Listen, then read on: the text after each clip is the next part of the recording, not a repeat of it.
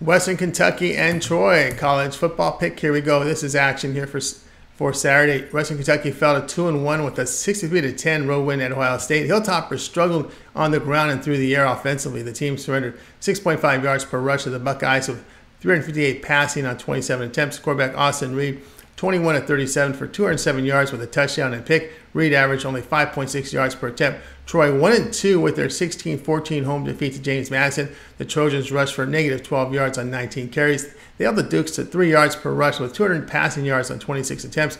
Gunnar Watson 25 of 46 for 332 yards with two touchdowns and an interception.